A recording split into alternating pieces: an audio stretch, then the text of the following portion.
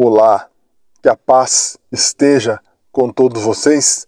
Meu nome é Eric Ferreira, sejam todos bem-vindos a mais um vídeo aqui neste canal.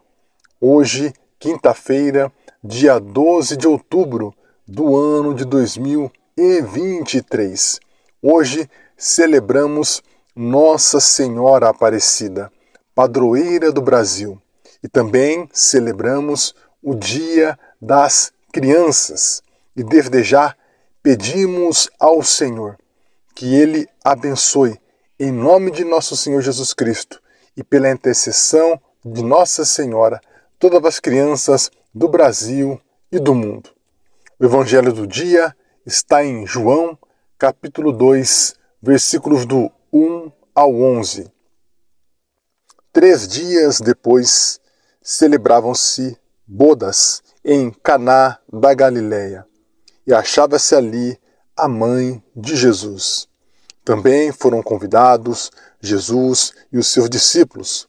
Como viesse a faltar vinho, a mãe de Jesus disse-lhe: Eles já não têm vinho. Respondeu-lhe Jesus: Mulher, compete a nós? Minha hora ainda não chegou.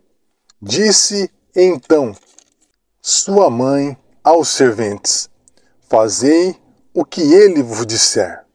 Ora, achavam-se ali seis talhas de pedra para as purificações dos judeus, que continham cada qual duas ou três medidas.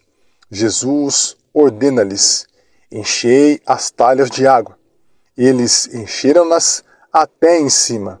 Tirai agora, disse-lhes Jesus, e levai ao chefe dos serventes.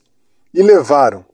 Logo que o chefe dos serventes provou da água tornada vinho, não sabendo de onde era, se bem que o soubessem os ferventes, pois tinham tirado a água. Chamou o noivo e disse-lhe: É costume servir primeiro o vinho bom, e depois, quando os convidados já estão quase embriagados, servir o menos bom. Mas tu guardaste o vinho melhor até agora. Esse foi o primeiro milagre que Jesus realizou em Caná, na Galiléia. Manifestou a sua glória e os seus discípulos creram nele. Essas são palavras para a nossa salvação. Glória a vós, Senhor. Então, hoje nós celebramos Nossa Senhora Aparecida, padroeira do Brasil. Em 1717, a imagem de Nossa Senhora Aparecida foi encontrada no rio Paraíba por simples, humildes pescadores. E este é um grande sinal de Deus para todos nós, e principalmente naquela época para aquela gente, pois infelizmente o Brasil ainda até então vivia a escravidão. E Nossa Senhora Aparecida se mostrou àquela gente na cor negra, como um sinal de Deus para demonstrar o seu amor e compaixão por todos nós. O Evangelho de hoje fala a respeito da intercessão de Nossa Senhora. Faltou vinho no casamento dos noivos e a Virgem Maria foi até Jesus pedir para que ele viesse a intervir diante da situação. Jesus, primeiramente, responde: Mulher, ainda não é chegada a minha hora. Porém, Jesus, ouvindo o pedido da sua mãe, ele pega e transforma a água em vinho. Muitas pessoas dizem que o fato de Jesus se dirigir à Virgem Maria como mulher significa que ele não a respeitasse. Não é nada disso. Jesus ali profetizava. Gênesis 3,15: Colocarei entre ti serpente e entre ti, mulher, hostilidade. Eis que a serpente morderá apenas o calcanhar da mulher, e a mulher pisará sobre a sua cabeça. Assim diz a palavra de Deus, a palavra do Senhor. E Apocalipse 12. Surgiu um grande sinal no céu. Uma mulher revestida de sol, a lua debaixo de seus pés, e em sua cabeça uma coroa com doze estrelas.